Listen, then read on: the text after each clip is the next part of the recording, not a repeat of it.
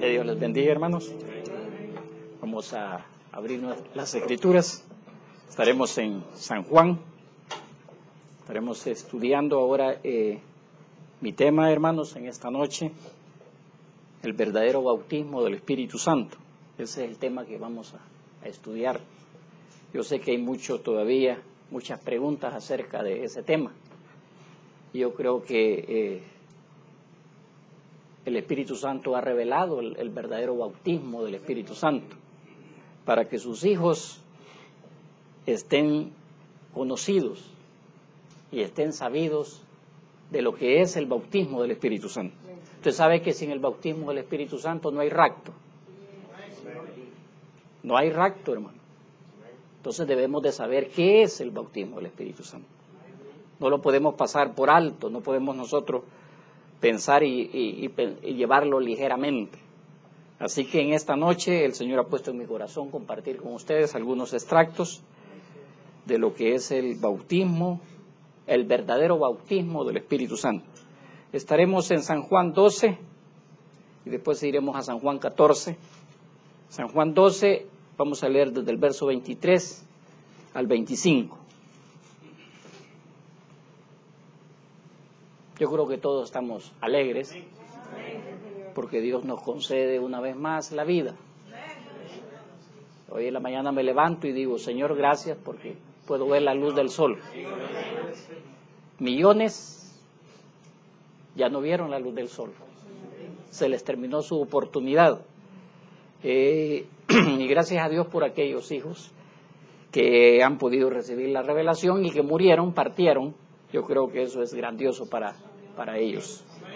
Dice la escritura, Jesús les respondió diciendo, ha llegado la hora para que el Hijo del Hombre sea glorificado. de cierto, de cierto digo que si el grano de trigo no cae en la tierra y muere, queda solo, pero si muere, lleva mucho fruto. El que ama su vida, la perderá. Y el que aborrece su vida en este mundo, para vida eterna, la guardará. Ahora vamos a ir a San Juan 14. Veremos siempre en, el verso 26 una escritura muy conocida de nosotros. Dice, más el consolador, el Espíritu Santo, a quien el Padre enviará en mi nombre, Él os enseñará todas las cosas y os recordará todo lo que yo os he dicho. Oremos. Amado Jesús, en esta noche te estamos dando las gracias una vez más.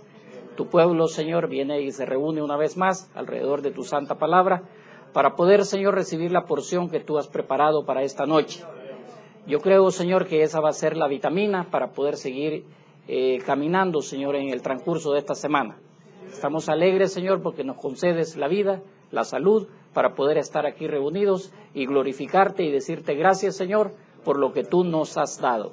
Gracias por el misterio que nos ha revelado, el gran misterio del bautismo del Espíritu Santo. Estamos alegres porque somos parte de ese grupo que ha podido verte a ti revelando el secreto. En el nombre sagrado del Señor te damos las gracias. Amén y amén. Vamos a, sentarse, hermanos. Pueden sentarse. Eh, usted sabe de que, eh, por decirlo así, hay, hay, dos bautismos del Espíritu Santo. En sí, no, no es que sean dos bautismos del Espíritu Santo, pero lo voy a decir de esa manera dos bautismos del Espíritu Santo. Un bautismo del Espíritu Santo trae un ungimiento. Creo que todos sabemos eso. El Espíritu Santo trae un ungimiento. Eh, y hay otro bautismo del Espíritu Santo, fíjese, que trae un nacimiento. Entonces tenemos dos cosas, ungimiento y nacimiento. Ahora, ¿a dónde viene el, el ungimiento? El ungimiento viene al Espíritu y el nuevo nacimiento viene al alma. Entonces, para poder tener un, bautismo del Espíritu Santo en, el alma, es necesario un proceso de muerte. Y eso es lo que está diciendo el Señor. Fíjese a los, yo creo que fue a los griegos, que les estaba diciendo ellos, ellos dijeron queremos ver a Jesús. Y yo creo que cada uno de nosotros venimos a este lugar porque queremos ver a Jesús. Si usted no trae ese objetivo, le digo, está perdido. Yo pienso que sería mejor que no viniera si no viene con el objetivo de ver a Jesús. Entonces los, los, griegos querían ver a Jesús y cuando ellos llegan delante de Jesús, Él les dijo estas palabras, fíjense, les dijo, si el grano de trigo eh, dice que si el grano de trigo no cae en la tierra y muere, queda solo, pero si muere lleva mucho fruto. ¿Cuál sería el fruto que daría usted como grano de trigo? ¿Cuál sería el fruto que daría usted cuando muere? ¿Cuál sería el fruto?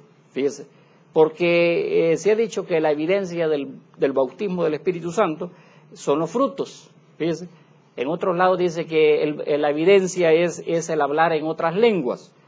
En otras iglesias dice que la evidencia es gritar. En otros lugares dice que la, la, evidencia es, es, es, danzar en el Espíritu. Entonces, pero nosotros sabemos que el fruto es la palabra. Eso es el fruto verdadero del verdadero bautismo del Espíritu Santo. Eso no es tan sencillo. Se ve sencillo, pero es demasiado profundo para que nosotros lo podamos comprender. Solamente el Hijo de Dios va a entender eso, Nadie más lo va a comprender. Fíjese, dice, dice eh, vamos a entrar un poquito en lo que es el proceso de muerte. Creo que todos sabemos que un grano, eh, para poner un ejemplo, un grano de maíz, usted tiene un grano de maíz, usted lo ve bien hermoso, bien bonito, y, y usted le gustaría tenerlo ahí, pero para que usted pueda tener más granos de maíz, usted necesita sembrarlo. Y cuando usted lo siembra, ¿qué es lo que va a suceder? Toda esa belleza se le va a arruinar. La belleza se va a terminar, esa belleza se va a podrir. Y eso es lo que pasa con, cada hijo de Dios. Fíjese, tiene que morir para poder brillar. Tiene que morir, fíjese, a, esta naturaleza para poder traer la naturaleza divina. Hay mucha gente que quiere eh, estar en la iglesia y llegar al cielo, pero no quiere pasar el proceso de muerte. Y entonces dice el mensajero, fíjese, para que usted vea, ahora el acceso, dice, a este nacimiento. ¿Cómo usted puede tener acceso a ese nacimiento? Dice, hay un acceso a ello. Y para, y para entrar a este nacimiento, fíjese, porque acuérdese que hay que entrar. Hay que ver y hay que entrar. Usted tiene que pasar a través de un proceso. Exactamente como todo lo que vive. Por esa razón, Pablo murió, por esa razón los discípulos murieron, por esa razón Jesús murió, porque es un proceso, fíjese, para traer vida. Entonces yo sé, hermano, que nosotros tenemos un, un, sistema antiguo de vida y realmente nos duele morir a ese sistema.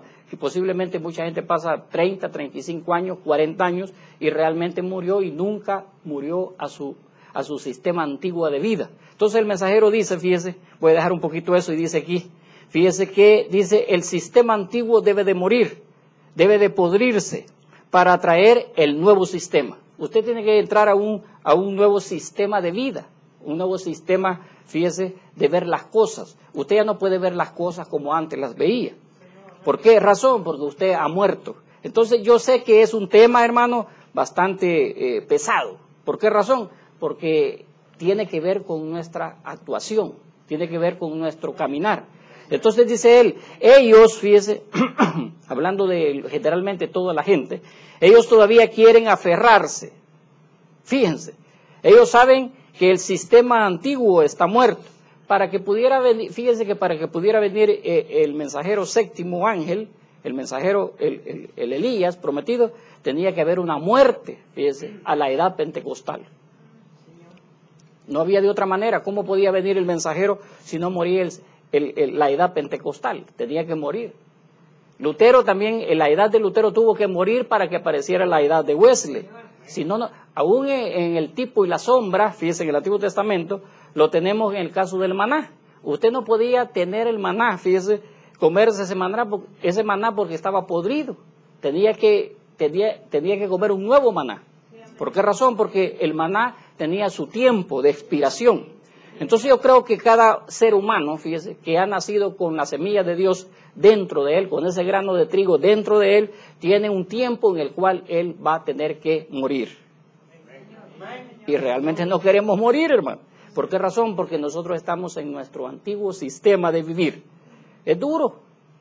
Yo sé que hay muchos, muchos que todavía, fíjese, no han muerto. Entonces dice el mensajero, usted no puede quedarse con su mismo espíritu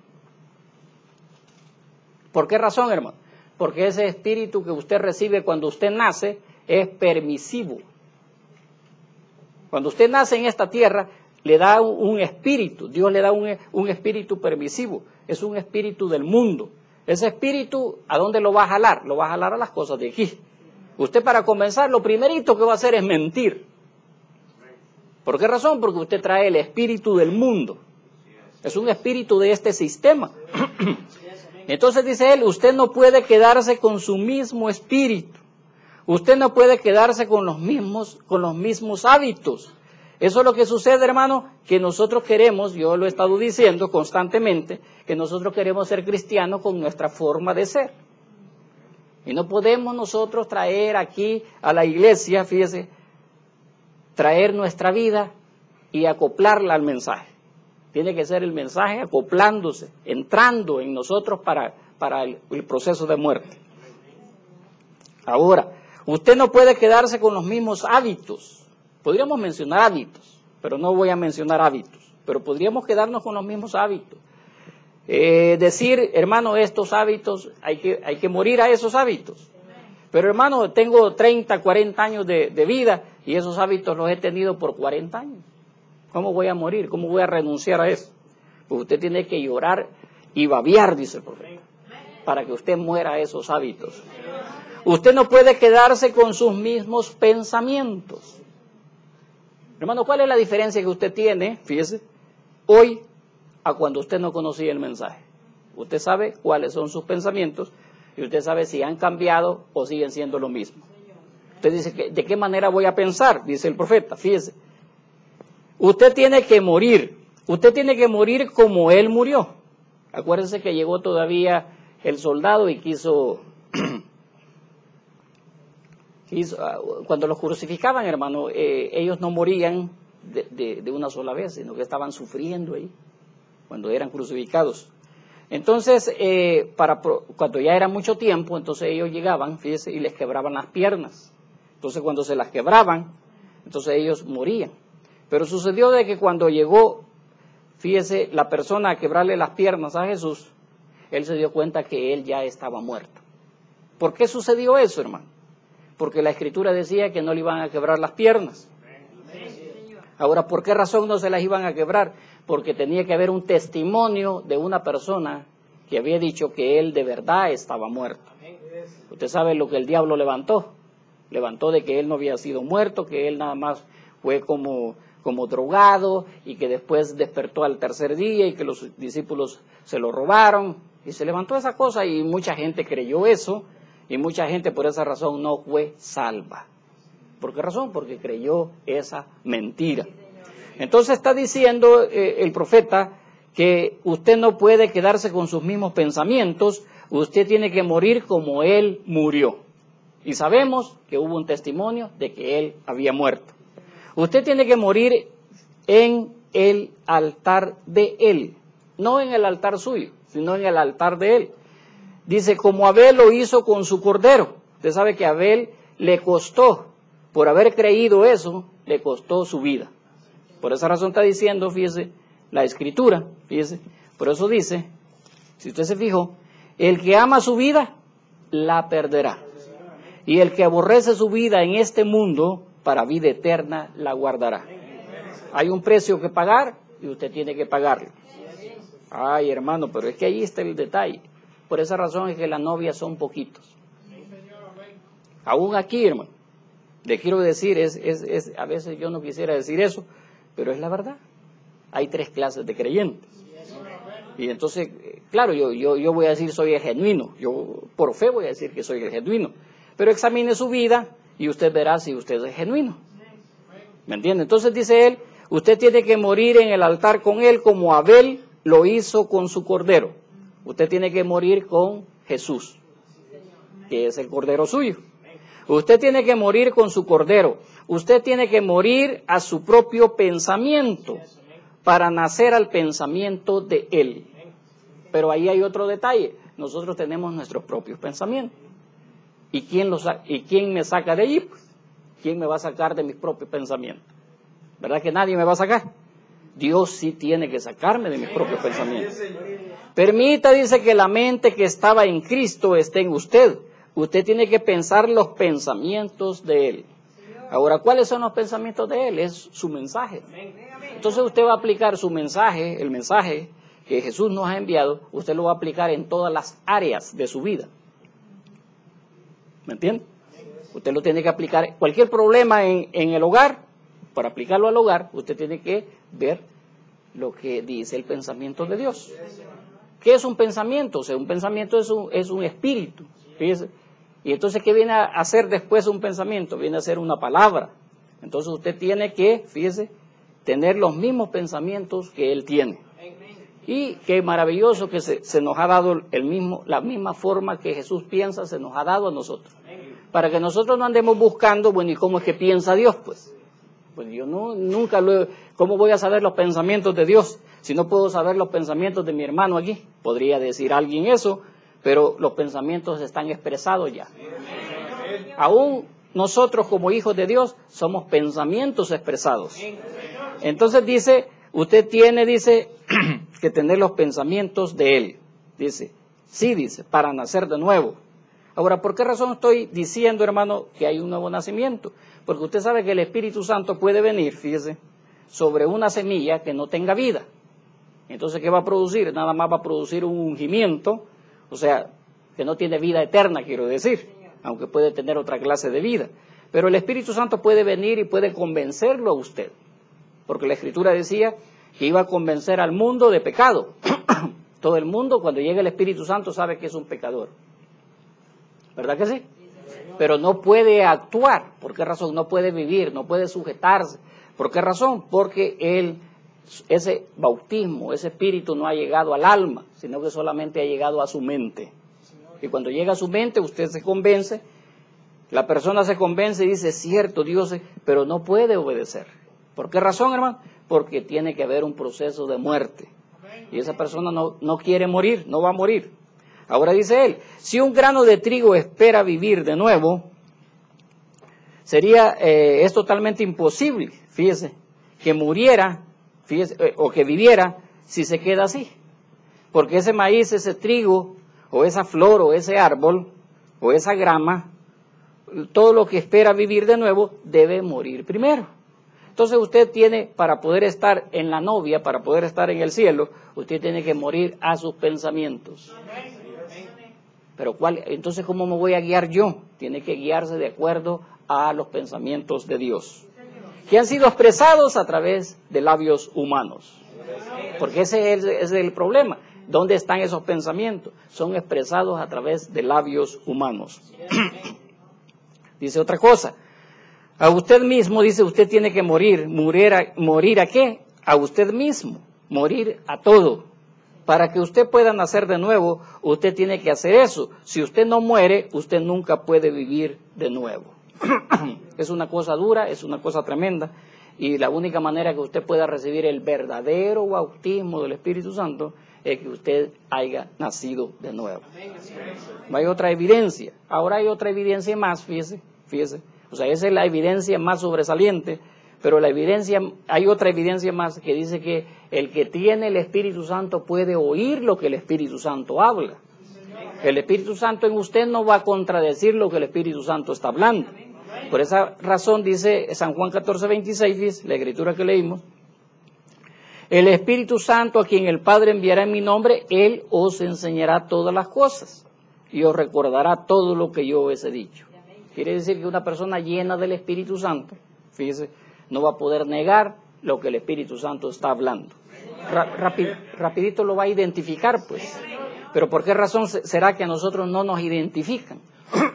¿Por qué será que la gente no nos identifica? Porque no tienen Espíritu Santo. ¿Qué es Espíritu Santo, hermano? Es una vida, hermano. Es una clase de vida que usted tiene. ¿Qué clase de vida lleva usted? ¿Qué pasa cuando usted se va de la iglesia? ¿Cómo vive allá en lo más secreto sus habitaciones? ¿Qué es lo que usted, cómo vive allí? Ese, ese, ese es, fíjese, ahí usted examínese para ver si usted realmente ha muerto. Entonces dice él algo más aquí. Dice, eh, algunas veces nos unimos a la iglesia, hay muchas cosas bonitas en ella y demás. Tal vez tratamos nosotros mismos de hermosearnos para ir a la iglesia. Usted sabe, uno se, viste de la mejor manera, viene bien perfumado. Bueno, algunos no va, pero, pero estoy hablando con los que se perfuman bien y vienen bien arregladitos. Otros dicen, no, yo voy para la iglesia, ¿para qué me voy a arreglar? Voy a ir como me dé la gana. ¿Me entiende? Pero aquí está diciendo, fíjese, que nosotros no, nos, nos, ¿cómo se llama? Nos hermoseamos para ir a la iglesia y obtener algo nuevo para usar a la iglesia. ¿Es eso, dice, es eso todo lo que la iglesia significa para usted? Entonces yo estoy persuadido que usted necesita un nuevo nacimiento. Eso es exactamente. El grano de maíz nunca producirá ninguna vida nueva hasta que el grano viejo se pudra completamente. Pero para eso, hermano, ¿qué tiene que hacer usted? Hermano, para que usted se pudra, tiene que recibir los azotes, hermano. Tiene que ser moldeado. Y ahí donde nosotros, hermano, está la situación. Nosotros tenemos que tener una vida diferente a la de antes. Usted tiene que estar, estarse examinando cada momento, hermano. ¿Cómo, pensé yo ayer? ¿Cómo estoy pensando ahora? ¿He avanzado o estoy igual? ¿O voy para atrás? Entonces dice él, y una persona dice, en el altar no puede llegar allí o, e hincarse y levantarse y decir, bueno, yo he recibido un nuevo nacimiento. Usted tiene que quedarse allí hasta que todos sus pensamientos de usted mismo y todas sus cosas mundanas se hayan podrido completamente. Podríamos enumerarlas, no las voy a enumerar, podríamos enumerarlas. Dice muerto y podrido, y se hayan ido de usted. Hermano, porque eso es lo que pasa, que la gente no quiere, fíjese, que las cosas se vayan de, de ellos. Quieren vivir con esas cosas y al mismo tiempo estar en la iglesia. Entonces un nuevo nacimiento acontece. O oh, dice, usted pudiera babiar y gritar, y babiar como un caballo comiendo trébol, pero usted saldrá de ahí en una condición nueva. Pero ¿cuál es el problema? No queremos babiar. Por ejemplo, aquí las jovencitas, pasar aquí al altar y llorar, hasta llorar, pero de verdad, hasta que se vaya toda esa naturaleza mala que tiene. ¿O cree usted que no hay naturalezas malas? Hermano, si tenemos naturaleza mala, por esa razón que no, alguien dice, hermano, yo lo hago en mi cuarto. Gloria a Dios, está bien. Si usted lo hace a solas, eh, hermano, pero es que lo que pasa es que uno sabe cuando una persona ha estado con Dios.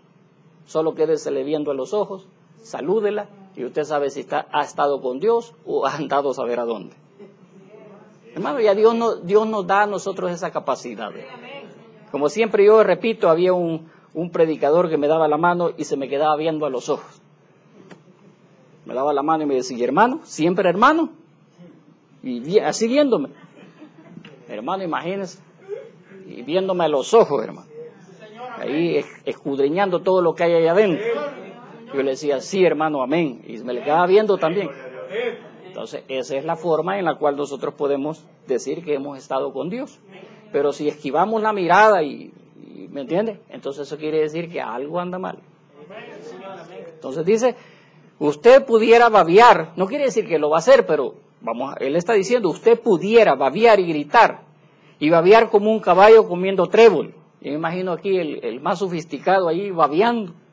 ¿Qué es, lo, que es pensaría? No me imagine que va a pensar las hermanas de mí, hermano, cuando yo comience a llorar y, y a gritar, ¿y qué van a pensar? A mí qué me importa, hermano, lo que piensen. Si eso es lo que mi Señor quiere que haga para morir, lo voy a hacer. ¿Me entiendes? Pero siempre el ser humano está pensando en el otro, qué es lo que va a pensar. A mí no me interesa el otro, yo no voy, yo no tengo vida eterna por el otro. ¿Me entiendes? Yo no voy a recibir rapto por el otro, hermano. A mí no me interesa lo que piensen. Yo tengo un solo objetivo, hermano. Y entonces, a mí, hermano, imagínese el proceso que usted, eh, que uno ha tenido a través de los años. Entonces dice, eh, pero usted saldrá de allí en una condición nueva. Nueva, hermano. Y usted ya no va a poder regresar a su antigua forma de vivir. No puede. Porque es, dice, con un nacimiento nuevo. Y algo en usted que está vivo y lo hace algo diferente a lo que usted era antes. Eh, estos tipos de mensajes como que, como que casi no nos gusta, o nos gusta eso, eso es lo que quiero ver. Yo quiero ver eso, eso, esos amenes, ¿me entiendes?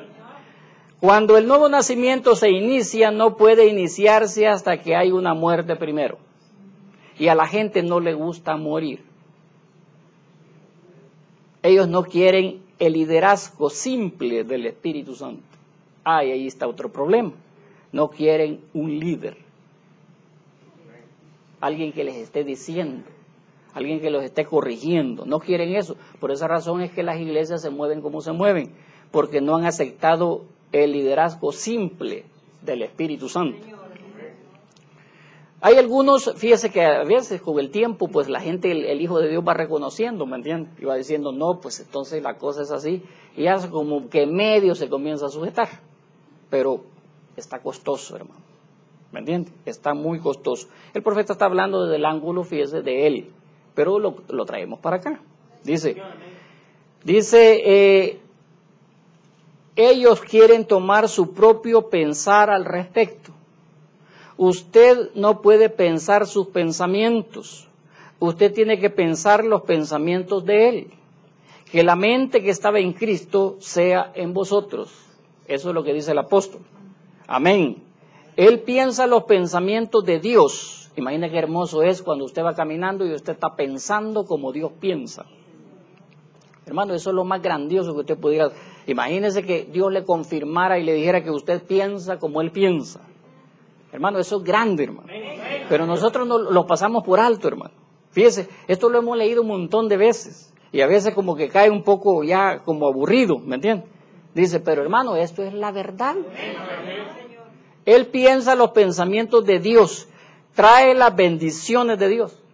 Quiere decir, hermano, que cuando yo me le acerco al hermano Wilber, le traigo bendiciones de Dios. Porque yo pienso como Dios. Cuando yo me le acerco a un hermano y comienzo a hablar con él, le llevo bendiciones de Dios. Porque yo soy como Dios. ¿O no dijo la Escritura que nosotros íbamos a ser como Dios? Sí, hermano, somos los dioses de la tierra. Pero hermano, en la profundidad es cuando nosotros fallamos. Entonces dice, lo vuelvo a leer, Él piensa los pensamientos de Dios, trae las bendiciones de Dios, trae el poder de Dios a usted. Imagínese. ¿O cree usted que Dios a través de un hombre no nos trajo el poder? ¿Por qué cree usted que ha podido vencer el mundo? ¿Por qué cree usted que ha podido estar al frente? Porque hubo un hombre, fíjese, que trajo el poder y la bendición de Dios.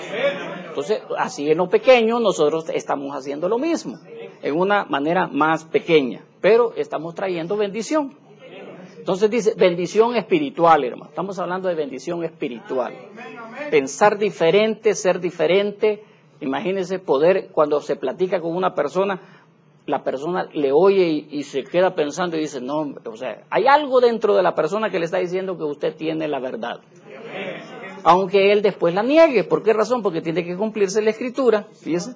¿Cuál escritura? La escritura que estamos viendo, fíjese, que tiene, algunos, fíjese, no van a querer perder su vida, pero ellos en su interior saben que usted tiene la verdad. Ahora dice Kifis, la mente que estaba en Cristo sea en vosotros. Y usted dice, ahora dice, y hará de usted, fíjese, él piensa los pensamientos, trae la bendición, etc. Y hará de, de usted un desorden, fíjese, en cuanto al mundo, pero le traerá una vida nueva. ¿Qué es lo que viene cuando viene esa, esa? Alguien dice, hermano, pero está hablando de Dios. Sí, hermano, pero Dios siempre se está manifestando en seres humanos. ¿O no traía desorden el profeta de Dios cuando traía a Dios a la escena? Le traerá una vida resurrectiva, hermano. Le traerá pensamientos nuevos. Le traerá una persona nueva. Usted ya no va a pensar igual, va a ser diferente, hermano. Hermano, cuando usted empieza a pensar diferente, usted tiene una, le llega una convicción. A uno le llega una convicción, le llega, le llega un poder sobrenatural en el cual dice, usted sabe que usted está sobre todos. No importa qué gente sea, que si es alcalde, si es presidente, usted, usted sabe que está sobre él. ¿Por qué razón? Porque usted, está, usted es como el águila. Usted va subiendo, subiendo y subiendo. Fíjese, nunca va bajando, siempre va subiendo. Ahora dice, le, trae, le traerá una vida resurrectiva, le traerá pensamientos nuevos, le traerá una persona nueva, le traerá una fe nueva. No se va a mantener con la misma clase de fe, todo el tiempo, con la misma fe, con el mismo creer, con el mismo poquito de fe. No, usted va en aumento. Lo traerá usted de muerte a vida. Como la semilla que cae en la tierra y se pudre para traer vida otra vez, pareciera como si alguna vez iba a traer vida, sería cuando estuviera en su forma perfecta. Si alguna vez hubo vida en ella, entonces ¿por qué no saldría? Plántela en la tierra y la vida sale. Porque todo lo que está alrededor de esa vida, todo lo que está alrededor de ese germen que ningún hombre puede encontrar, ¿sabía usted que no? El germen de vida no lo puede encontrar el ser, el ser humano. Puede agarrar, eh, se confunde, fíjese, va y busca. Bueno, eso es lo que está diciendo él. Dice que ningún hombre puede encontrar. ¿Cómo es que toda materia alrededor de ese germen tiene que morir para que pueda brotar en una vida nueva? Ahora, claro, tiene que tener el germen de vida. ¿Me entiende? ¿Pero qué va a pasar cuando me entierren a mí? Si no tengo germen de vida, ¿qué va a suceder? Y me voy a quedar podrido. Si el grano de trigo no eh, cae en tierra y muere, queda solo. ¿Me entiende? Pero si muere, lleva mucho fruto. Pero ¿de quién está hablando? Está hablando del grano de trigo. ¿Me entiende? No está hablando, fíjese, fíjese, de, otra, de otro grano, sino del grano de trigo. Entonces dice, para que pueda brotar en una vida nueva, pero todo alrededor de eso debe también morir y podrirse antes que pueda brotar a vida. Eso es hablando individualmente. Ahora fíjese aquí. Ahora lo voy a traer en una forma, como lo estaba diciendo, de edades. Fíjese. Bueno, dice, esos sacerdotes fariseos ciegos no podían ver que eso era la palabra hecha manifiesta. Entonces, ¿qué sucedió con ellos? Ellos no quisieron morir a su sistema. Y estábamos hablando, dice, la otra noche, de cómo el grano debe de morir. Y todo alrededor de ese germen de vida, no solamente debe de morir, sino podrirse. ¿Se acuerda lo que le pasó a Pablo? Pobrecito Pablo, todo lo que tuvo que, que renunciar y morir a todo eso. Si no se pudre, no puede vivir. Y podrirse es acabarse completamente, estar terminado. Hermano, ¿sabía usted que la única manera, aún hermano, los, los, los que están en negocios dicen que la manera de triunfar, la manera de vencer, la manera de tener éxito, es que usted quede derrotado completamente. Ellos aún en, su, en, sus, en sus pláticas que dan dicen eso. Y el, profeta está diciendo, y podrirse es acabarse completamente, está terminado. Imagínense cómo es que Dios, para poder, imagínense, traernos esta gran resurrección, Él tuvo que estar terminado en una cruz. El propio Dios, imagínense, bajando Dios a hacerse un humano y tener que dejar eh, ofenderse, fíjense que lo ofendieran, que lo maltrataran, y que todo el mundo dijera se terminó, se acabó. Algunos discípulos dijeron, no, pues ya nuestro maestro se murió. Hermano, porque de verdad se había muerto, hermano. Entonces dice, y hasta que lleguemos al lugar en que nuestras propias ideas y nuestro propio pensamiento se han ido completamente, no que los tengamos asolapados ahí, ¿me entiendes? Un tiempito, un tiempo y de repente aparecen otra vez. No dice, se han podrido completamente de nosotros, entonces el germen de vida puede empezar a vivir. Quiere decir que si no morimos, el germen de vida no comienza a vivir. Entonces vamos a ver algo, ahora vamos a ver lo que es un ungimiento. Fíjese. Vamos a ver lo que es un ungimiento para que usted vea el otro lado, fíjese, cómo viene la cosa, y esto es tremendo. Fíjese. Usted sabe que está la escritura de Mateo 5:45 donde dice, para que seáis hijos de vuestro Padre que está en los cielos, que hace salir su sol sobre malos y buenos, y que hace llover sobre justos e injustos. Usted sabe que aquí está representado que el, el Espíritu Santo es la lluvia. Entonces dice, dice el mensajero, el Espíritu puede caer sobre un hipócrita. El Espíritu Santo puede caer sobre un hijo de Dios y ¿qué es lo que le va a dar? Le va a dar muerte va a empezar en un proceso de muerte y él va a morir a todas las cosas, a sus hábitos, lo que acabamos de leer. Pero si cae sobre un hipócrita, ¿qué es lo que va a suceder? La Biblia lo dice usted, me han oído enseñar, la lluvia cae sobre el justo y el injusto, pero tiene que compararse con la palabra. ¿Qué es lo que está diciendo la palabra? Que tiene que morir. Pero ¿qué es lo que dice el hipócrita? No, yo no necesito morir al mundo, ¿me entiendes? Ahora dice, porque tiene que compararse con la palabra y de allí es de donde usted lo toma. La Biblia dice que la lluvia cae sobre los justos y los injustos. ¿Cuáles serían los justos? Los hijos de Dios. Ahora pongamos un ejemplo, el trigo y la cizaña. crecen en el mismo campo, la lluvia viene para el trigo, pero así como cae sobre el trigo, igualmente cae sobre la cizaña. Y la cizaña estará tan agradecida como lo estará el trigo, pero es la misma lluvia, o es el mismo bautismo del Espíritu Santo. Es el mismo Espíritu Santo cayendo sobre estas personas, pero no les produce un nuevo nacimiento, sino que lo que les produce es, fíjese, un ungimiento. El mismo Espíritu Santo puede caer sobre un incrédulo y hacerlo actuar de la misma manera como actuaría un creyente, pero por sus frutos son conocidos. Hoy en día están tan confundidos acerca de la evidencia del Espíritu Santo y demás. Y Satanás puede imitar cualquier clase de don que Dios tiene, pero él no puede traer esa palabra, fíjese, palabra por palabra. ¿Usted sabe que cómo se forma un cuerpo humano? Célula sobre célula. Entonces, ¿cómo se, se forma un hijo de Dios? Palabra por palabra. Entonces, eso no lo puede hacer, digamos, una cizaña, porque entonces, si va palabra por palabra, formaría un hijo de Dios. Entonces dice, Allí es donde él falló en el huerto del Edén. Allí es donde él siempre ha fallado. Allí es donde ellos, eh, ahí donde ellos fallan, quiere decir, va. Dice, y pone el ejemplo de la cinta o la predicación de los ungidos. Bueno, que ya la hemos leído. Entonces dice, es el interior, hermano. Ahora recuerden, Jesús dijo, todo lo que el Padre me ha dado vendrá a mí. ¿Qué quiere decir eso, hermano? Lo hemos dicho mucho, por mucho tiempo. ¿Qué quiere decir que todo lo que el Padre me ha dado vendrá a mí? Todo lo que Dios, fíjese, le dio a, Jesús, fíjese, va a venir a la palabra. No importa dónde esté metido. Estábamos hablando con hermano Alejandro y me decía, no, hermano, yo pude ver, pude ver hoy, fíjese, cómo es que Jesús ha venido y la gente no se ha dado cuenta. Imagínese, hermano. Y me dice, yo lo he leído, lo he oído, pero hasta ahora yo entendí eso, cómo es que Jesús ha venido y la gente no se ha dado cuenta. ¿Por qué razón, hermano? Porque fíjese, él fue llamado. Está diciendo la Escritura que solamente los que el Padre ha llamado van a venir a la palabra. Y la van a entender, porque la manera de entenderla es que puedan oírla. porque oír quiere decir entender. Entonces vamos a ir dejándolo ahí, hermano. Quiero ver, voy a dar otras, otros extractitos aquí. Eh, tengo mucho, pero lo voy a dejar ahí. Dice,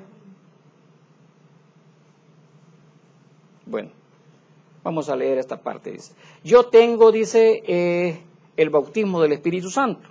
Alguien puede decir eso. Usted sabe que en la época que el profeta vino, había mucha gente que se jactaba de tener el bautismo del Espíritu Santo. Y si lo tenían, era verdad. Eso aún no tiene nada que ver con eso, dice el profeta. Eso es solamente un don temporal. Quiere decir que usted puede tener el bautismo del Espíritu Santo como un don temporal. ¿Qué es lo que le va a dar? Bueno, le va a dar tal vez por un tiempo, vamos a decir, le da 10 años. 10 años en la iglesia. Ay, ahí está usted. No, pues sí. Pero a, a los 10 años, pasando los 10 años, se fue. ¿Qué quiere decir eso? Temporal. Era temporal porque no, eh, eh, cuando uno es sellado por el Espíritu Santo, dice la Escritura que es sellado hasta el día de la redención. ¿De la redención de qué? Del cuerpo. Me recuerdo cuando le decía a un hermano, yo que te quiero ver aquí dentro de 200 años. Y no duró pero ni dos semanas. Hermano, imagínese. Por eso mejor ya no le digo a nadie así. Porque es correrlos, hermano. Así que dice, fíjese, yo tengo el bautismo del Espíritu, eso aún no tiene nada que ver con eso, dice. Eso es solamente un don temporal para usted. El verdadero don es su alma allí adentro. ¿Cuál es el verdadero don? El alma. ¿Por qué razón? Porque el alma, ¿qué es el alma? Es la teofanía, hermano. Claro, viene en una forma, fíjese, de semilla que fue nacida, esa alma que fue nacida de Dios. Quiere decir que ahí está, ese es el verdadero bautismo, que viene a ser nacida de Dios y que sujeta, esta palabra me encanta a mí, y que sujeta toda la cosa a la palabra de Dios y a su voluntad. Y ahí usted crece, ahí donde usted crece, ¿ve? ¿Ve? Entonces usted es un hijo o una hija de Dios. Ahora dice él, les voy a decir algo que los va a ahogar. Les voy a decir algo que los va a ahogar. El tener el bautismo del Espíritu Santo de ninguna manera significa que van a entrar. No está basado en eso. No tiene nada que ver con, fíjese, no tiene nada que ver con el alma. O sea, que está diciendo de esa persona que tiene y está diciendo que tiene el bautismo del Espíritu. Pero eso no tiene nada que ver con el alma porque el espíritu no ha llegado al alma. Si para comenzar quizás no tiene ni alma, hermano. ¿Me entienden? Aquí el profeta, eh, perdón, dice, eso es el bautismo. ¿Ven? Aquí está el alma de adentro, aquí adentro, que tiene que, que venir de Dios. Fíjense lo que está diciendo. Tiene que venir de Dios. Acuérdense, en ese, en ese espíritu ustedes pueden ser bautizados con el espíritu genuino de Dios. ¿En cuál espíritu? En el mundano. ¿Me entiende?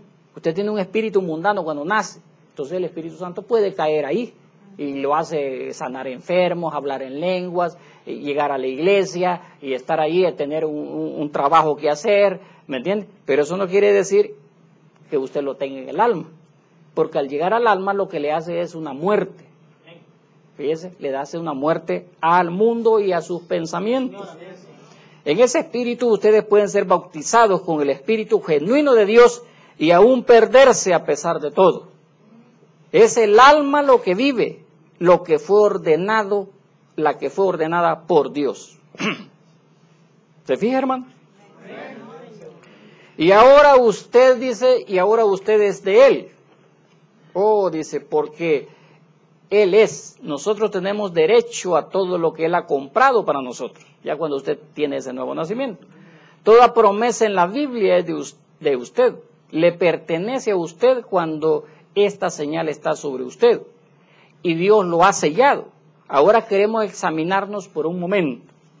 Cuando Dios le ha dado a usted el verdadero bautismo del Espíritu Santo, entonces la vida de Jesucristo está dentro de usted. Ahora, eso es verdad. Todo teólogo tendrá que admitir que eso es la verdad es el nuevo nacimiento. Usted ha nacido de nuevo del Espíritu Santo. Ahora, ese poder vivificador que vino sobre Jesús lo vivificó para manifestar cada promesa de la palabra para ese día. Por esa razón él, pudo decirle al mundo que sí tenía la vida él. Así también hace el Espíritu Santo que viene sobre nosotros en este día. Si no es un Espíritu Santo imitado, si no es el diablo imitando al Espíritu Santo, pero si es el real y verdadero Espíritu Santo, entonces manifestará la promesa de esta hora. Entonces eso es, fíjese, ahora vamos a ver otra partecita. Dice, cuando venga el Espíritu Santo, Él os hará saber las cosas que habrán de venir. ¿Ven? Él lo, él lo perfeccionará. Hermano, eso de perfeccionar, ¿qué, ¿qué significa? Hermano, hemos hablado sobre lo que es la perfección. Obras de hombre no lo hará. Y Él es la palabra. Cuando venga el Espíritu, fíjese, Él mismo se identificará en usted con la Escritura. O sea, usted no puede tener el Espíritu Santo y no entender la Escritura. Eso es lo que quiere decir Él. Y esa es la señal verdadera de que el Espíritu Santo está en ustedes porque, porque Él es la palabra. bueno, lo voy a dejar allí, hermano, porque se fue el tiempo porque tenía tanto, hermano, imagínense. Pero vamos a ver algo sobre el trigo y con eso lo voy a dejar. Póngase de pie. Para que usted vea que realmente, hermano, todo es muerte. Alrededor, imagínense, millones de gente muriendo. ¿Por qué razón, hermano? Porque estamos en, un sistema de muerte. Y Dios, fíjese, fíjese, nos dejó a los hijos de Dios la muerte para beneficio de nosotros. Imagínense, el profeta murió para beneficio de nosotros. Ahora dice él aquí, fíjese, si el trigo no tiene ese absoluto en él, o sea, si el trigo no tiene esa vida en él, nunca se levantará. Ahora, alguien dice, hermano, pero se van a levantar allá en la segunda resurrección. Bueno, los que están siguiendo el mensaje ahorita, se van a levantar en la resurrección allá. Sí, hermano, pero no para vida, sino para muerte. ¿Me entiendes? Porque alguien podría pensar eso. ¿Me entiendes? Yo, tal vez no ustedes, pero el enemigo sí. ¿Me entiende? Vuelvo a repetirlo. Si el trigo no tiene ese absoluto en él, nunca se levantará. Alguien dice, hermano, ¿cómo no se, no se va a levantar si se van a levantar allá en el trono blanco? Si ese trigo no tiene ese absoluto, puede que sea muy bonito por fuera, pero no puede vivir porque no hay nada en él con qué vivir. Pero cuando obtiene ese absoluto, puede mirar directamente en la cara de los críticos y decir, yo me levantaré otra vez. ¿Por qué? Porque tiene el absoluto, está en él, tiene que levantarse otra vez. Si permanecéis en mí y mis palabras permanecen en vosotros, ese es el absoluto. Entonces, ¿a dónde, a nos trajo, hermano? A la palabra. Dice, si permanecéis en mí y mis palabras permanecen en vosotros, pedid todo lo que queréis. Eso es ese absoluto. Bueno, lo vamos a dejar ahí, hermano. Que el Señor añada las bendiciones en sus corazones. Lo poquito que ha entrado en su corazón, que Dios pueda añadir ahí la bendición de la palabra. Oremos. Amado Dios, te estamos dando las gracias en esta hora, Señor, por habernos concedido, Señor, este tiempo delante de tus hijos, Señor, para que nosotros podamos, Señor, seguir escalando peldaños. Estamos, Señor, llegando al final ya, Señor. Estamos en el tiempo del fin, Señor. Estamos esperando esa gran manifestación de ese trigo que se va a levantar de nuevo, Señor.